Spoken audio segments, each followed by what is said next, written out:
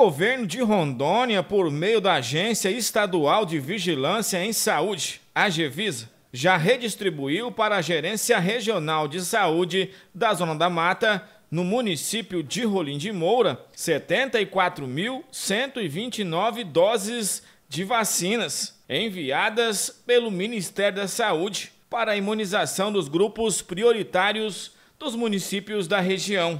Os imunizantes recebidos são armazenados na câmara fria e as prefeituras têm a responsabilidade de retirar e vacinar os grupos prioritários seguindo o Plano Nacional de Imunização. Segundo o vice-governador José Jodan, o governo tem trabalhado para que as doses dos imunizantes cheguem o mais rápido possível nos municípios foi disponibilizado o site Portal Covid-19, onde o cidadão pode buscar as informações das ações realizadas pelo governo no combate à Covid-19 e tirar as suas dúvidas. Na Zona da Mata, a distribuição ficou da seguinte forma: Alta Floresta do Oeste, 11.278. Alto Alegre dos Parecis, 4.842.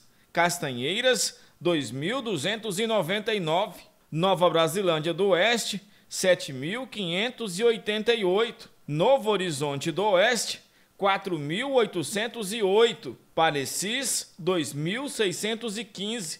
Rolim de Moura, 22.108. Santa Luzia do Oeste, 4.814. São Miguel do Guaporé, 8.709. Seringueiras, 5.068 doses de vacinas.